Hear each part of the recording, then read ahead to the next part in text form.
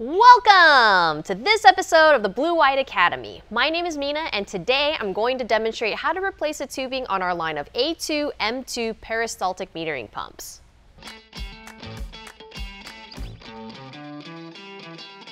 In this video, I will demonstrate how to replace the tubing for the A2 M2 peristaltic metering pumps and general maintenance to keep your pump running optimally. But before we replace the tubing, it's essential to practice safety. Always wear safety glasses and gloves when replacing the tubing. Some other items we recommend are a degreaser, a rag, a scrub sponge, silicone oil lubricant, high temp grease, and a brush. Safety tip. Be sure to relieve pressure in the discharge side of the tubing before performing any maintenance.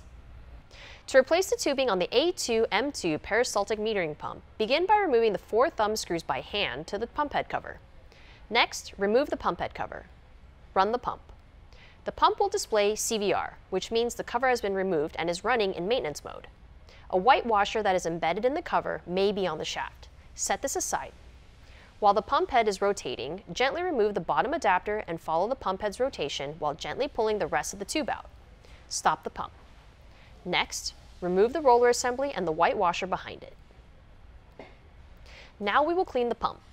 Begin by cleaning the roller assembly.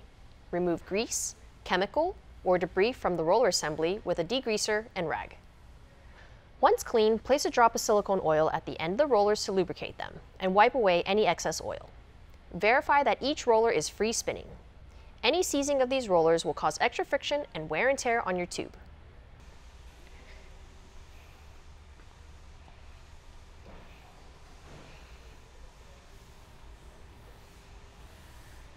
Next, use a degreaser and rag to clean any grease, chemicals, or debris from the interior of the pump head and motor shaft.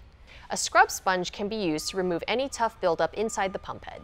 This buildup can lead to added tube wear if left unmaintained. The A2M2 has two TFD sensor pins. Be sure it is clean from any chemicals or debris.